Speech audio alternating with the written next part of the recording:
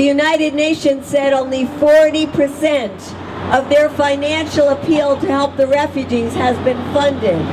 That means 60% of the needs are unmet. If we are really a humanitarian country that wants to help the people of Syria with no negative consequences, we could be putting hundreds of millions of dollars into helping those refugees. Get John Kerry, who's supposed to be the nation's highest diplomat, to start using his diplomatic skills. That does not mean military. John Kerry, it's been a long time since you've been in the military, and those weren't pretty days either. John Kerry should not be trying to take this nation to war.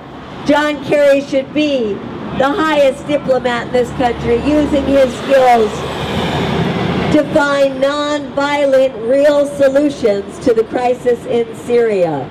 Let's force this government to stay out of war and let's move on to the things that we need you to do that will benefit the American people and not keep us in an endless cycle of violence. We're not out here because we enjoy what we're seeing on the internet. We are horrified and terrified by what the Assad regime has, has done against the people of Syria. Why do we have a United Nations if we're not going to use the United Nations? We say that we should send in UN peacekeeping forces immediately. We need to hold peace talks as soon as possible.